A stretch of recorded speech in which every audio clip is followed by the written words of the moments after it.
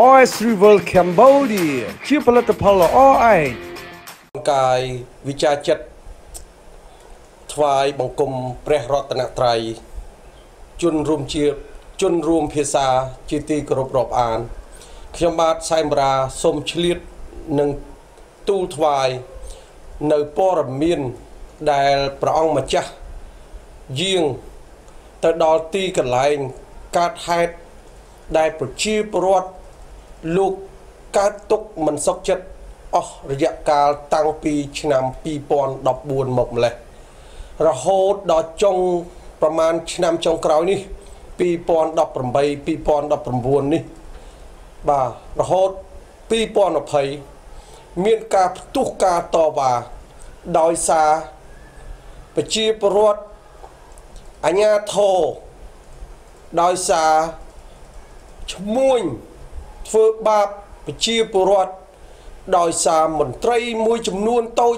ធ្វើបាបប្រជាពលរដ្ឋមានទាំងបលិសដឹងឮផងដែរមានទាំងចៅសង្កាត់លោកដឹងឮផងដែរចុះហេតុអីមិនជួយប្រជាពលរដ្ឋក្នុងឱកាសនេះដែរសូមថ្លែងអរគុណយ៉ាងជ្រាលជ្រៅចំពោះអ្នកឧបត្ថម្ភកម្មវិធី ដូចជា Talicor Imbus មកជា spray បាញ់លើផ្លូវដងហើម OS Rival Cambodia TKM Govery ជាផលិតផលគ្រឿងសម្អាងមកពីប្រទេសកូរ៉េ100%រថយន្តរថយន្ត Haval ដែលនាំចូលផ្ដាច់មុខដោយក្រុមហ៊ុន Worldwide Garage អរគុណទៅដល់ Medimax ធម្មជាតិពិតសម្រាប់ពិតអរលោកលោកស្រីអ្នកនាងកញ្ញាជុំវិញនៅព័ត៌មានមួយដ៏ក្តៅកគុកនេះបាទរឿង នៅខេត្តសៀមរាបតែម្ដង បាទទំនប់78ដែលតាំងពីខ្មែរក្រហម បាទខ្មែរក្រហមជាអ្នកជីកធ្វើរួចរាល់តាំងពីជំនាន់78អញ្ចឹងបាទគេដាក់ឈ្មោះទំនប់78អញ្ចឹងធ្វើរួចរាល់ហើយ79បែកក៏ប្រជាប្រដ្ឋលោកមកកាន់កាប់អាស្រ័យផលធ្វើស្រែដំណាំស្រូវដើម្បីបកកប្រកាន់ផល ដោយឡែកមួយរយៈក្រោយមកក៏មានការផ្ទុះតវ៉ាទៅក៏បាត់ក្រុមហ៊ុននឹងទៅឥឡូវលេចមកទៀតក្រុមហ៊ុននឹងមកទៀតនឹងក្រុមហ៊ុនផ្សេងផ្សេងទៀតមានប្រមាណអ្នកអីនោះមាន6អ្នកនោះបាទឈ្មោះស្អីដែលឈ្មោះរហស្សនាមណាតាសិតតាងាច់យ៉ែមរជនីកឹមសេងអូនមនី តាខីជាមួយនឹងមេភូមិទៀតខົບខិតគ្នា ជាប្រព័ន្ធឥឡូវសូមឲ្យបច្ចេកទេសសូមចាក់សម្ដីដែលប្រជាពលរដ្ឋតវ៉ាជាពិសេសព្រះអង្គម្ចាស់ស៊ីសវັດសិទ្ធិដែនព្រះអង្គជាងតតទៅសួរទុកសុខទុកនៃការលំបាករបស់ប្រជាពលរដ្ឋសូមបច្ចេកទេសចាក់ដូចតទៅ សំបីតែមេភូមិតែគេផ្ដិតមេដៃដែរមេភូមិចៅសង្កាត់ខ្ញុំផ្ដិតមេដៃមែនប៉ុន្តែឥឡូវចៅសង្កាត់ញ៉ាញ៉ាឲ្យធ្វើ បើយើងដើម្បីធ្វើដើម្បីដោះស្រាយពេចឲ្យប្រជាប្រដ្ឋធ្វើស្រែទេភាហៅចៅសង្កាត់ដោះស្រាយចៅសង្កាត់បើថាលោកឯងនិយាយហៅហៅមកប៉ុន្តែខ្ញុំខ្ញុំមានភាពអនុញ្ញាតរួចចាដើម្បីឲ្យងាយស្រួលក្នុងការនិយាយគ្នាថាចៅសង្កាត់ពេទ្យជាមានការអនុញ្ញាតឲ្យអនុញ្ញាតក្នុងលក្ខខណ្ឌយ៉ាងម៉េចខ្លះហើយមានណាឥឡូវចាយើងអាចជុំគ្នាណាបើសិនណាបងបើសិនជាខ្លួនឯងណាឥឡូវចាមានសិទ្ធហៅចៅសង្កាត់មួយក្រុងមកទេបាច់ជិះដៃបងទេបងជិះផងឯងទេបងបាច់ជិះដៃណាចាំទៅក្រុងរបស់គ្នាណាអាចារ្យណាហ្នឹងហើយហើយយើងមានសិទ្ធិរបស់គ្នាមានសិទ្ធិខ្លួនឯងទៅទេមិនបាច់បាត់ទៅមិនបាច់ទៅក្រុងឥឡូវនេះខាងខាងជួលផលនឹងបរិស្ថានកញ្ចុះមកនេះបាទគេធ្វើនេះឲ្យគាត់អនុវត្តទៅតាមច្បាប់ទៅបាទក៏ប៉ុន្តែខ្ញុំក៏ខ្ញុំធ្វើក៏ខ្ញុំអត់អាចអាចពីចៅស្កាត់ដែរហើយគាត់ដោយសារដោះស្រាយទឹក ធ្វើស្រែដោះស្រាយទឹកណាគេទឹកនៅក្នុងដីសាធារណៈនេះទឹកដីសាធារណៈបើដីប្រជារដ្ឋធ្វើស្រែប្រជាពលរដ្ឋធ្វើស្រែណាប្រជាពលរដ្ឋសិតទៅជួលដីទេអានេះមិនដីប្រជាពលរដ្ឋបាទបាទត្រូវហើយតែខ្ញុំដឹងហើយតែបងឯងធ្វើស្រែនេះគ្នាប្រមាណគ្រួសារអ្នកនៅក្រៅនោះប្រមាណពឿនគ្រួសារដែលធ្វើប៉ុន្តែប្រជាប្រដ្ឋជារដ្ឋមន្ត្រីរដ្ឋមន្ត្រីឯងដែលមកធ្វើស្រែវានេះនេះមួយប្រជាពលវាមក ប្រជាប្រដ្ឋវាប្រជាដោយសារតែឯងមិនធ្វើស្រែអឺមិនធ្វើស្រែខ្ញុំធ្វើស្រែក្នុងក្រៅឃ្លាំងណោះបងឯងថាម៉េចធ្វើស្រែនៅនេះបងឯងណែចូលចិត្តអាកាន់ជើងអាបាត់ល្មើសណែនេះបានធ្វើនេះប្រឆាំងណែឯងមានតំបន់ជើងគេអត់អត់ប្រហែលវាមិនមែនតំបន់តំបន់ទេគឺដីសាធារណៈដីឃ្លាំងទឹកហើយបង ទៅចៅសកាត់ហើយចាំទួចៅសកាត់ទៅបាទលាកបានអត់ភាពភូមិតមកចោតវាភូមិម្យ៉ាងទៅ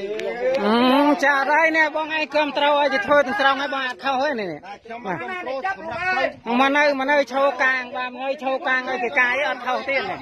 បាទដើម្បីឲ្យទទួលផលបានសិនក៏មានអ្នកណាយើងចប់ទៅអ្នកឯងធ្វើមិនអារឿងដីនេះមានបញ្ហាគេមិនបានឲ្យធ្វើទេប្រជាពលរដ្ឋមានណាគេឲ្យធ្វើទេប្រជាប្រដ្ឋឲ្យធ្វើមិនប្រជាប្រដ្ឋ អត់មានអ្នកណាឲ្យធ្វើទេបងឯងនិយាយបងឯងអ្នកកាងឲ្យធ្វើបានជាធ្វើនោះមិនកាងទេខ្ញុំមិនកាងខ្ញុំកាងបាទបានហើយបងឯងមិនកាងមិនបានមកឈោមើលអីដល់អីកាយនេះរហូតនេះបើនេះមិនធ្វើក៏ក៏ខ្ញុំមិនឲ្យមកប៉ះពាល់ដែរបងឯងណាដីនេះដឹងតែដីនេះដីសាធារណៈ អឺអត់ខ្ញុំឲ្យមកចាប់បើខ្ញុំចេញមុំនេះខ្ញុំមិនមកចៅសកាត់មិនភូមិចេញអឺអានោះវាសុំក្លុំយើងអត់ដឹងបាទដឹងតែដីនេះតាមនេះណាសាប្រជាពលរដ្ឋរៀមងរៀសទូចទាំងអស់ហើយដីនេះណាដីកំពុងតែមានទំនឿហើយគេកំពុងតែដោះស្រាយបងឯងមកអំពីមិនម៉េចមិនមែនប្រមាណនេះទេមេដៃប្រជាប្រដ្ឋចិត្តពាន់គ្រួសារឲ្យបងឯងចាំមើលទៅឥឡូវមិនម៉េចទេ គេគេតវ៉ាតាំងពី2014មានឯងឆ្លងកាត់ប្រជាប្រដ្ឋអើយខ្ញុំអត់ខ្ញុំដល់ឯណាដល់សាលាក្រុងសាលាខេត្តមិនមែនជាមិនមែនជាមួយម៉ាត់ឯណាមិនមែនអាណាអាញាធោហ៎អត់ទាន់យល់ទៀតបងឯងនេះមិនទាន់យល់នេះមកឈោកាងឲ្យគេប្រព្រឹត្តបទល្មើសនេះបើមានឯងអត់ឲ្យទៅហើយដឹងប្រជាពលរដ្ឋមកធ្វើកិច្ចសន្យាម្ដងពីរដងណាបងឯងនៅតែធ្វើ มันមានអ្នកណាតាមទុំសាន់សួរថាបងឯងស្ដាប់គេអត់ដឹងថាដីនេះដីសាធារណៈទៅទៅអត់ឯងទៅអត់ឲ្យជួបបងឯងមកស្ដាប់បងអត់បងបងឯងមិនមែនអត់ដឹងណាបងឯងដឹងថាដីណាដីសាធារណៈបាទបើប្រចាំបងឯងវិញណាឡាយទៅបងឯងឡាយទៅណាឡាយទៅទៅឡាយទៅមេភូមិកាយឲ្យគេកាងដីអាដីសាធារណៈនោះ ឡើងភូមិមកកាងមកទៅទីបាត់ចាប់មកកាងដីនេះដល់ពេលអញ្ចឹងគេអត់មកប៉ះពាល់បងប្អូនថាអូបះបោអញ្ចឹងកុំខ្លាចណានាំគ្នាសាមគ្គីគ្នាអាហ្នឹងបានទៅនៅខាងខ្ញុំចុះទៅគ្រប់តខេត្តហ្នឹងជួយបានដោយសារអីដល់សរសើរបងប្អូនយើងសហការគ្នាស្រឡាញ់គ្នាដូចកាលពីដើម ខ្មែរយើងពីដើមស្រឡាញ់គ្នាណាមានអីទិញទួចចែកគ្នាហូបចង់បានចង់បានចង់បានអូយចង់បានតែយើងទឹកមិនស្បាយចិត្តហើយ បើជាសហគមន៍ខ្លែងទៅលើការចាប់តែសំខាន់មកថាសំណុំពោវិញយើងគឺយើងចង់បានរងទៅនេះកាត់មកឲ្យជាប្រវត្តិមានសេចក្តីសម្រេចមួយមកពីខាងថ្នាក់នឹងហើយទីពីរហើយចង់បានដូចថាដីដែលគេកាយបាត់ទៅកំពឿនទៅប្រហែលគឺកាយលុបទាំងអស់ហើយនឹងយើងរៀបចំតាំងពូនឈើឡើងវិញតាមវិញឈើបាទ ហើហើយយគេហៅយើងតាមប្រចាំមិនមានជំរកត្រីមានចម្រោកត្រីព្រួយគ្នាខាងក្រោមលងកងខាងក្រោមកន្លែងត្រីពេលណាដែលយើងស្តុបទឹកបើសិនណាដូចពីដើមស្តុបទឹកបានច្រើនត្រីធំធំនៅច្រើនណាស់ក្នុងឃ្លាំងនេះមានត្រីក្រាយត្រីសណ្តែកទីដោមានទាំងអស់ទៅគ្រាច្រើនគោរបស់គ្នាយ៉ាងយើងតាមជួយទៅហ៎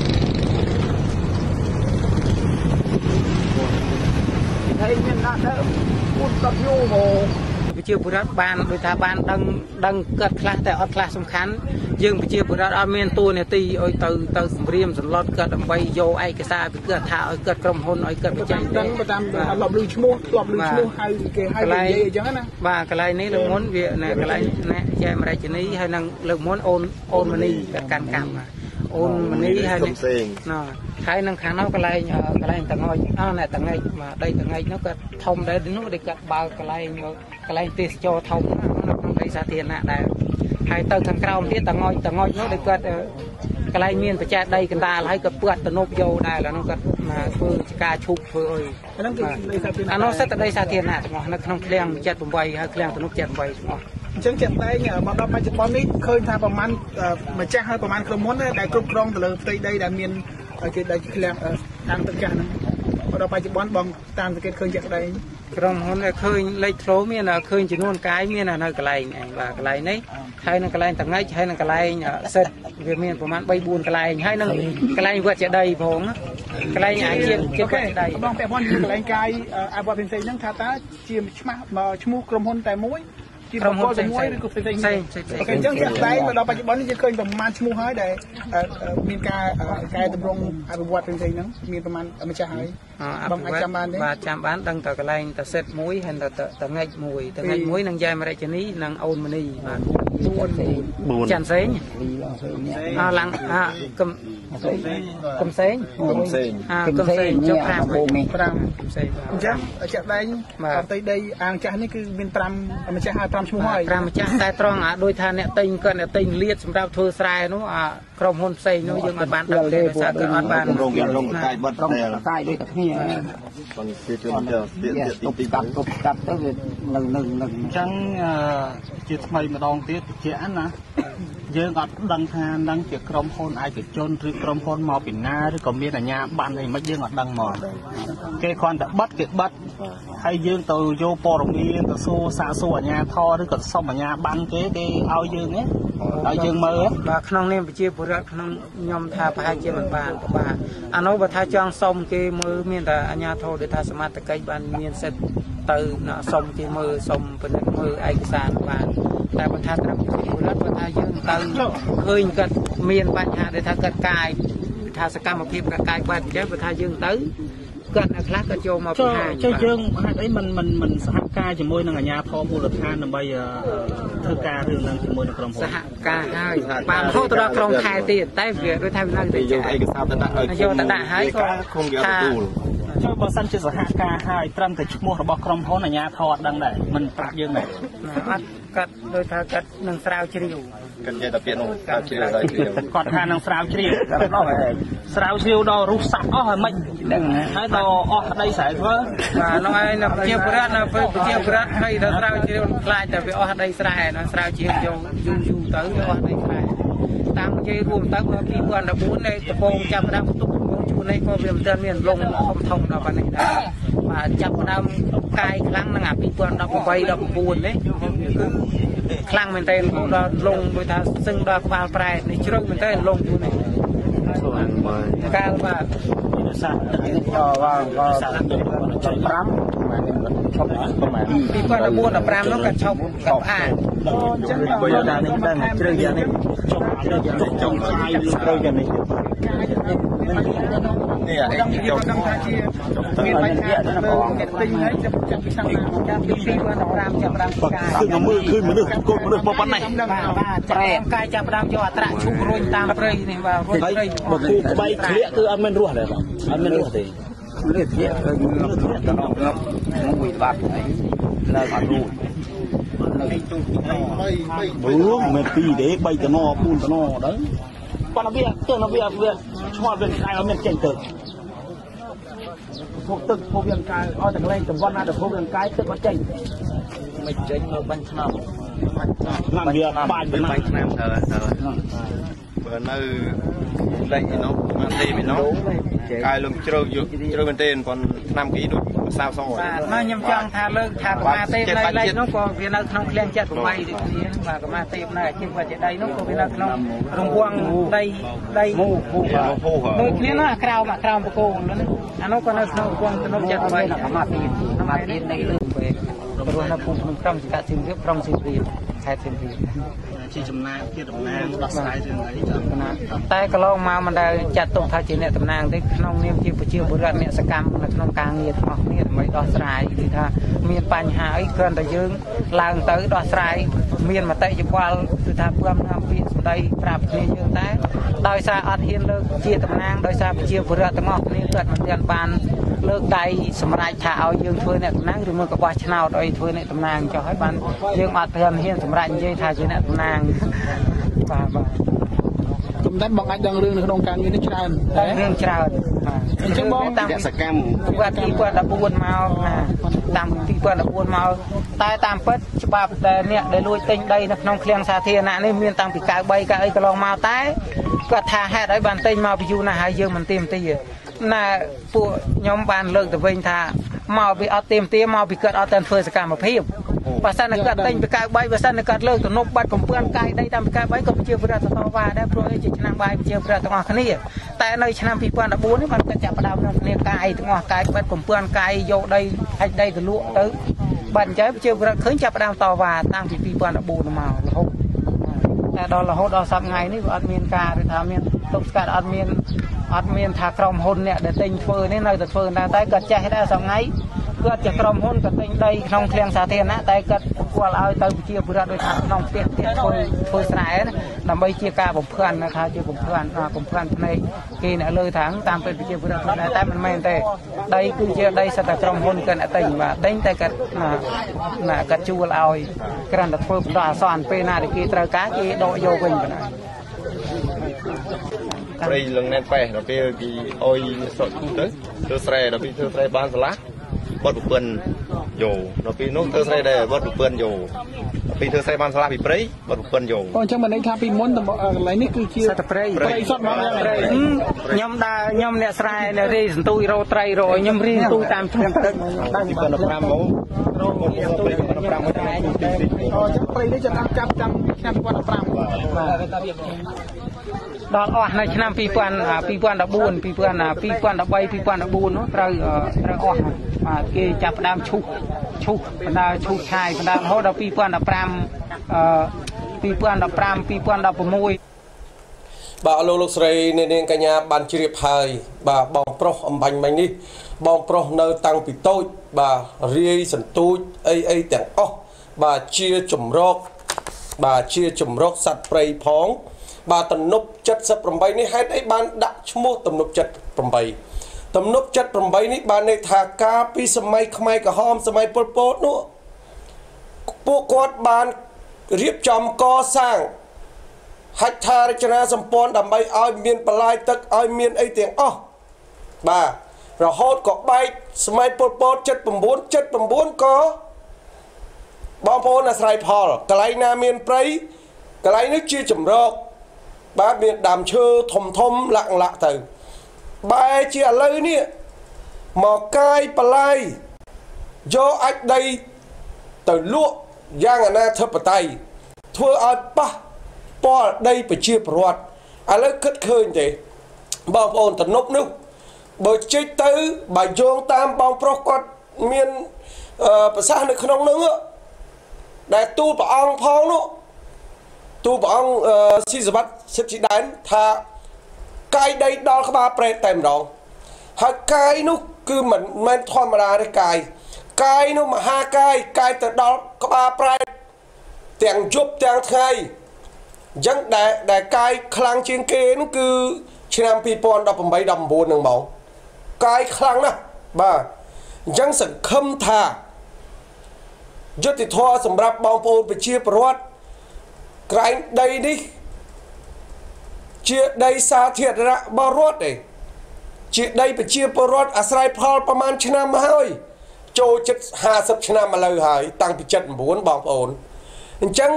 មានមានបានចាំទេអនុសាសន៍របស់សម្ដេចតេជោ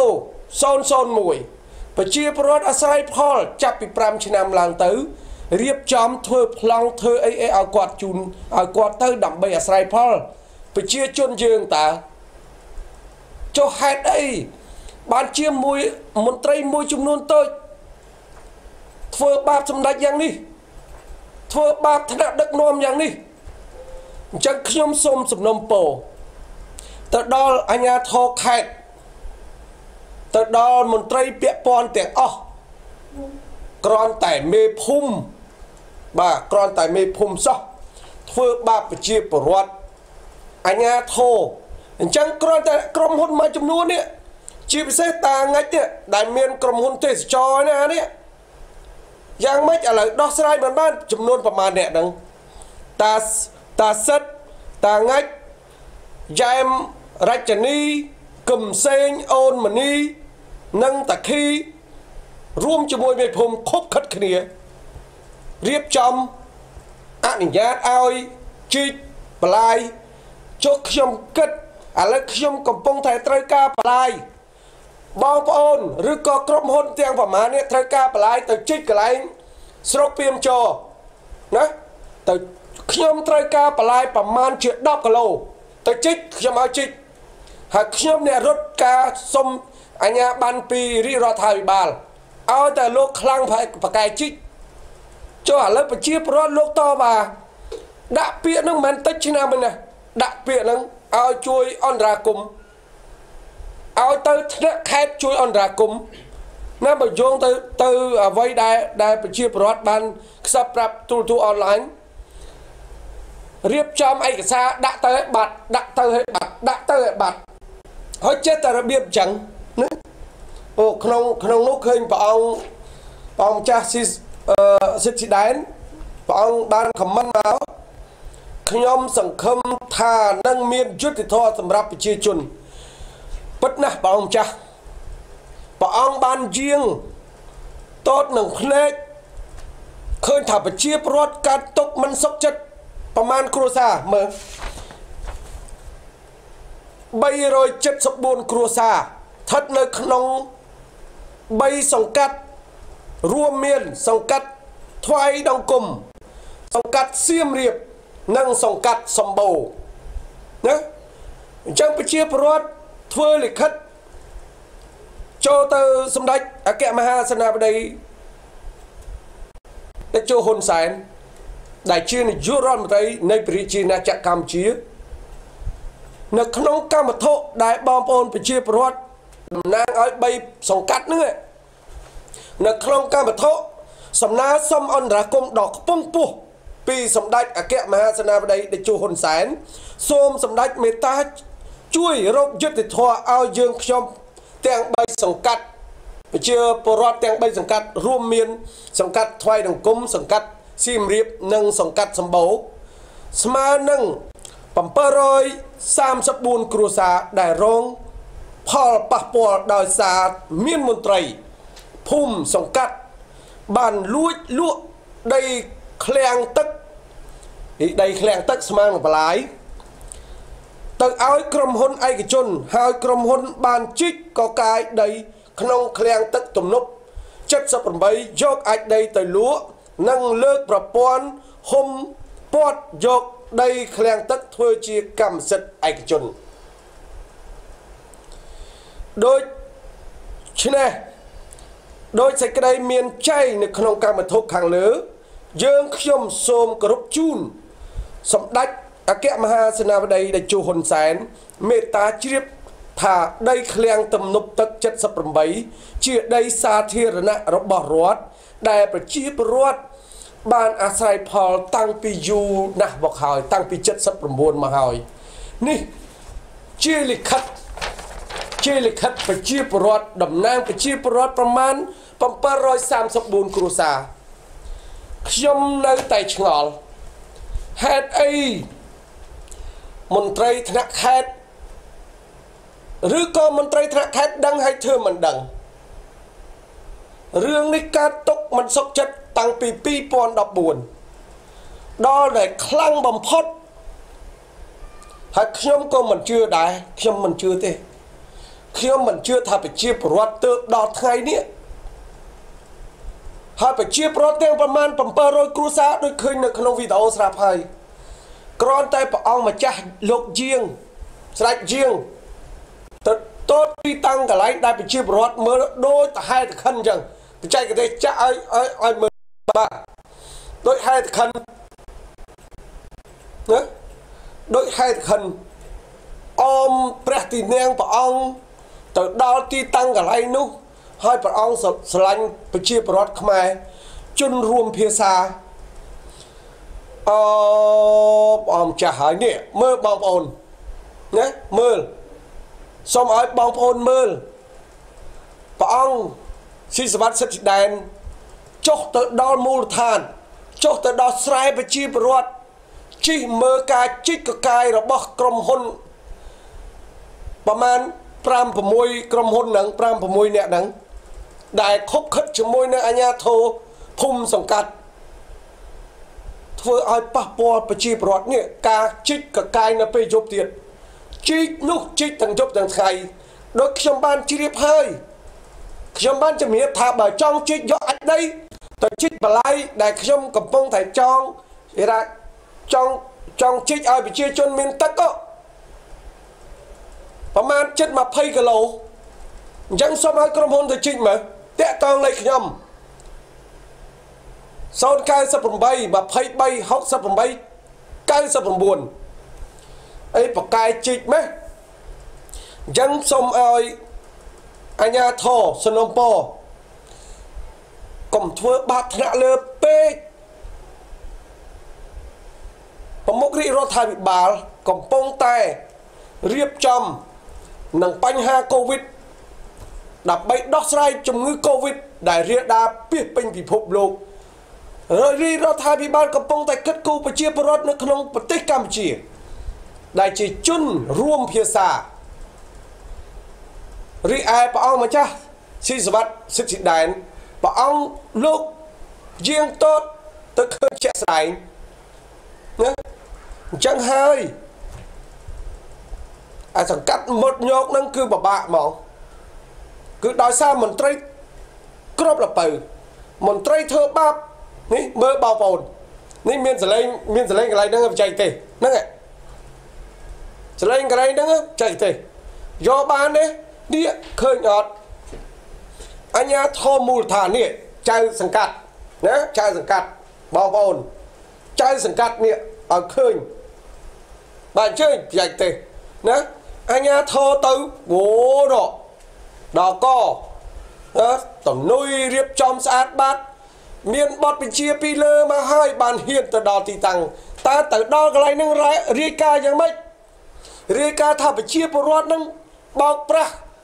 ក្រុមហ៊ុនឬក៏យ៉ាងម៉េចវាមិនដែលក្រុមហ៊ុនមានតែមួយប្រជាពលរដ្ឋមានតែដល់ប្រមាណ7 7 800គ្រួសារបើរាប់ជាមនុស្សប្រមាណណា ជិត5000នាក់មើលមើលហើយទាំងមន្ត្រីបរិស្ថានទាំងមន្ត្រីកសិកម្មណាជួយមើលគាត់ណាជួយធ្វើកំណត់ហេតុត្រូវដោះស្រាយនិយាយទៅគឺខ្ញុំនៅតែងឿងឆ្ងល់មែនតើបើទៅដល់ទីតាំងកន្លែងហ្នឹងហើយទៅដោះស្រាយឡើងទៅប្រជុំអីមិនអីមិនក៏ហៅប្រជាពលរដ្ឋហ្នឹងមើល ដោះស្រាយនៅកន្លែងដូចអៃដាមម៉ាធីនិនអៃដាមបានដោះស្រាយនៅកន្លែងគេហៅតតុលាការប៉ៅចិនតុលាការមុខដែកដោះស្រាយមានវេទិកាសាធារណៈរៀងរាល់សប្តាហ៍សូមទៅសើអៃដាមដែលប្រជាពលរដ្ឋនៅក្នុងខេត្តកំពង់ធំអូសំទោសនៅក្នុងខេត្តពោធិ៍សាត់ប្រជាពលរដ្ឋសែនគ្រប់គ្រង អៃដាមនៅចំណាត់ការដោះស្រាយមិនចាំបាច់រុញទៅតឡាការទេដោះស្រាយនៅមុខកាត់ក្តីភុងភុងបើដោះស្រាយអត់ចេញរុញទៅតាមច្បាប់អញ្ចឹងសូមឲ្យបច្ចេកទេសស្ដាប់ដល់ការតវ៉ាជាមួយនឹងចៅសង្កាត់ជាមួយនឹងប្រជាពលរដ្ឋសូមអញ្ជើញបច្ចេកទេស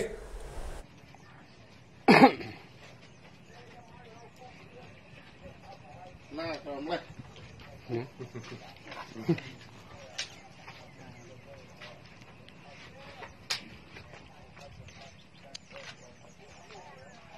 ភូមិហ្នឹងអឺអឺ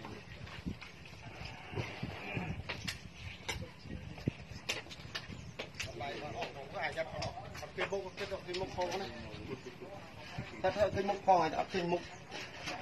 គេមុខផងណាតែធ្វើគេមុខផងអាចអត់គេមុខកំភៃកំអាភៃអាចឲ្យឃើញតាឃើញមុខមិនល្បីអាចឲ្យល្បីណាអាចក៏បីមិនខ្មៅយ៉ាងអាចឲ្យឃើញតា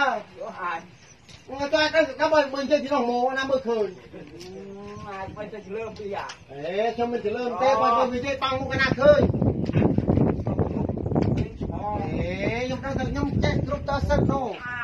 ចេញពីក្នុងម៉ូណាមើលឃើញអាចមិនទៅលើពីអាអេខ្ញុំមិនទៅលើទេបើបើវិទេបាំងមុខណាឃើញអេខ្ញុំដឹងថាខ្ញុំចេះគ្រប់តសិននោះអាងទៅប្រេះខ្ញុំមិនអាងទេបើនិយាយអញទៅអញមកនោះមកគេនិយាយជាមួយមែនអាថតដល់ឃើញមុខច្បាស់ទៅបាទខ្ញុំក៏បាននិយាយលោកឯងអាដែរប៉ុន្តែបើអត់ឃើញមុខណាដឹងខ្ញុំនិយាយនេះលោកឯងឆ្លើយនោះនេះហេខ្ញុំមិនច្បាប់ប៉ុន្មានទេប៉ុន្តែលោកឯងគេចេះច្បាប់ខ្ញុំមិនច្បាប់តែដូចគ្នាហេមិនណាមើលងាយលោកឯងបើលោកឯងមើលងាយខ្ញុំដែរមា នអត់ធ្វើបាបនេះឯងមានអីបាបគេអាចទេបាបហើយយើងមើលមើលយើងថាវាធ្វើបាបមិនយើងដឹងហើយ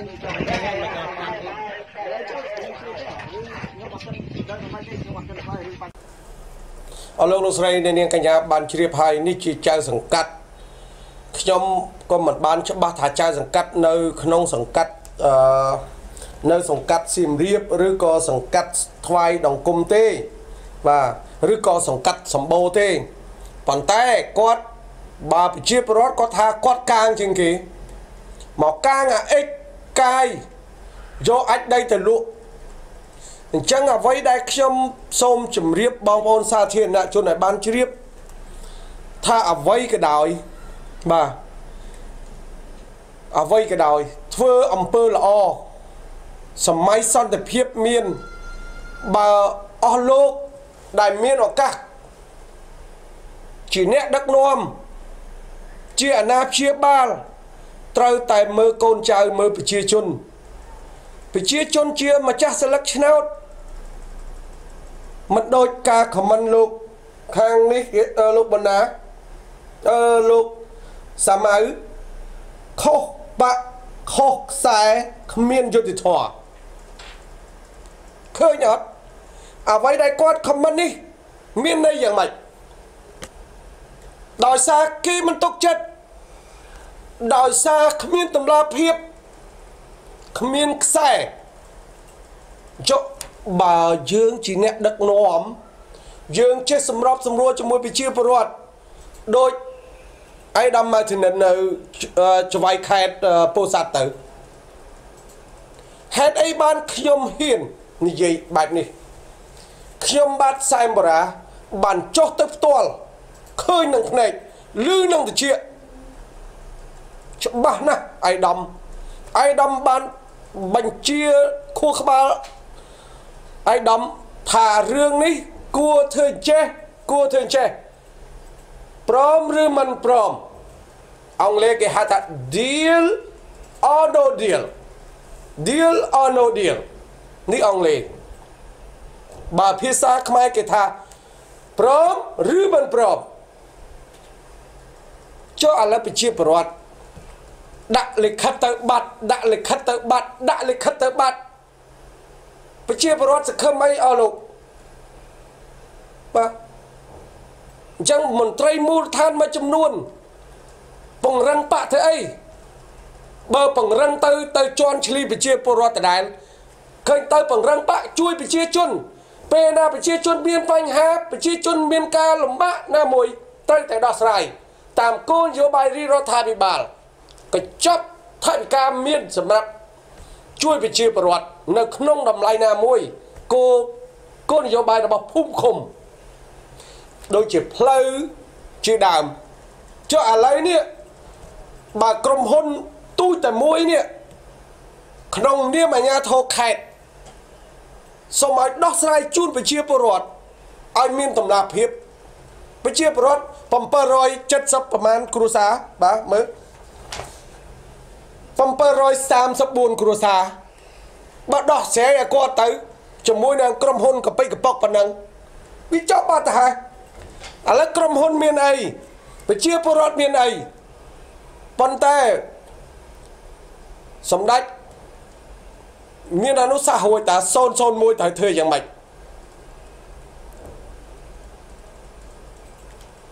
ប្រជាពលរដ្ឋលោកអាស្រ័យផលបានចាប់ពីប្រមាណឆ្នាំត្រូវធ្វើឲ្យគាត់ទៅ បំពេញកតបកិច្ចឲ្យគាត់ទៅឲ្យតែដីឡើងថ្លៃបន្តិចគឺឆ្លោះតែគ្នាឆ្លោះតែទាតែដីដោយសម្ដេចលោកមានប្រសាសន៍នៅក្នុងអង្គមីទិញមួយ ដូចជានៅគោ85ខ្ញុំចាំមិនភ្លេចទេបច្ចេកទេសមានទេររប្រសាសន៍សម្ដេចទៅជួបាទអាស្រ័យផលហ្នឹងហើយអញ្ជើញបច្ចេកទេសដាក់ដើម្បីជំរាបជូនបងប្អូនយើងគាត់ដាំដុះនៅកន្លែងហ្នឹងគាត់នៅកន្លែងហ្នឹងបកគលឲ្យគាត់ទៅខ្ញុំបាននិយាយរហូតដល់ប៉ុណ្ណេះនោះបើក្នុងគណៈបកខ្ញុំបាននិយាយថាដីនឹងដីម៉ែលោកឯងអី បានប្រកាច់ខំទុកទៅអីមិនចែកឲ្យប្រជាជនទៅណាអានោះនិយាយប្រពិតយើងវាដូចជាហួសស្រឡាញ់ដីហួសដីម៉ែលោកឯងអីស្អីមិនកុំចែកឲ្យប្រជាជនទៅណាអាប្រហែលដូចជាង1000ហិកតាមុនដល់សួរទៅអាហ្នឹងដីពីណាថាដីគាត់ទៅទន្ទ្រានគាត់ទៅកាប់ហើយដីហើយចុះ ណាណាគេធ្វើអីហ្នឹងថាអត់តាន់ធ្វើអីទេហើយចុះមិនវល់ឲ្យគាត់ទៅឥឡូវវល់ឲ្យគាត់ទៅធ្វើរួចទៅហើយបានទៅណាបានទៅប្រជាជនយើងតាណានយោបាយដីធ្លីយើងផ្ដល់ឱកាសធ្វើបែបនេះប៉ុន្តែមន្ត្រីរបស់យើងហាក់ដូចជាស្ដាប់មិនបានយល់គ្នាមិនបានណាខ្ញុំសូមដាស់តឿនសារជាថ្មីបងទៀតចេញពីខេត្តណាខេត្តនោះទៅទទួលក៏ទៅ សូមស្វាគមន៍មន្ទីរពេទ្យអន្តរជាតិកាសេមរ៉ាត់អារ៉ាញ់ប្រទេសបានចាប់ផ្ដើមហើយ ដែលមានទីតាំងស្ថិតនៅមិនឆ្ងាយពីព្រំដែនប៉ោយប៉ែតចម្ងាយប្រមាណជាង12គីឡូម៉ែត្រទល់មុខផ្សារទំនើបឡុតតាត់មន្ទីរពេទ្យយើងខ្ញុំ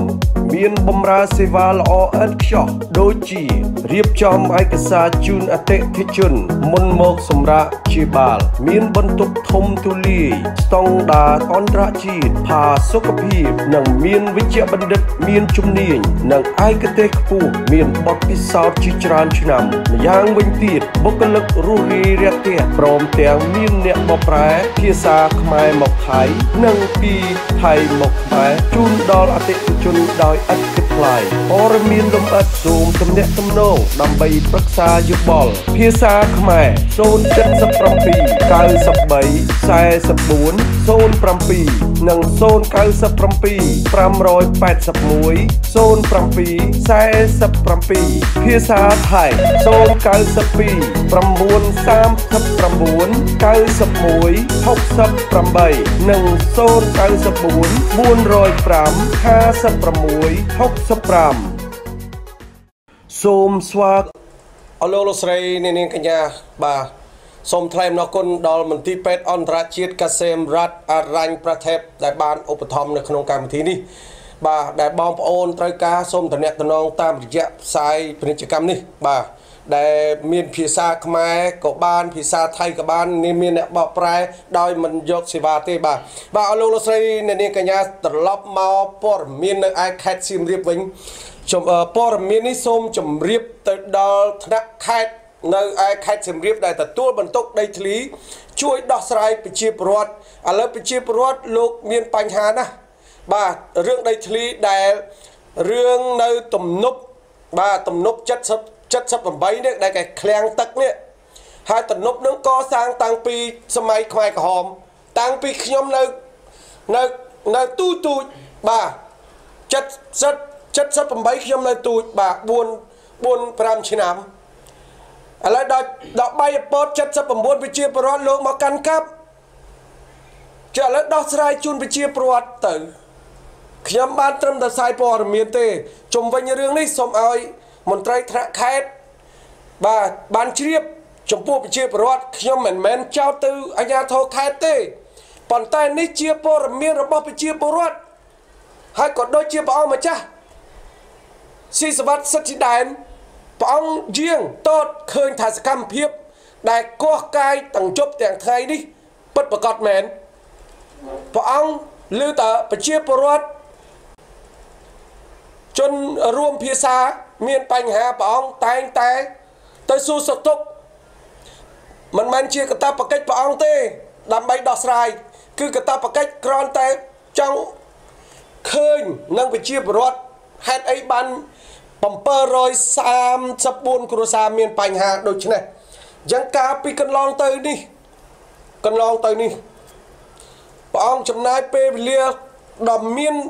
តម្លៃពេលវេលាមហាសាលដើម្បីចង់ដឹងពីសុខទុក្ខប្រជាពលរដ្ឋអញ្ចឹងសូមឲ្យអាជ្ញាធរខេត្តក៏ដូចជាមន្ត្រីពាក់ព័ន្ធទាំងអស់ជួយមើលទំនប់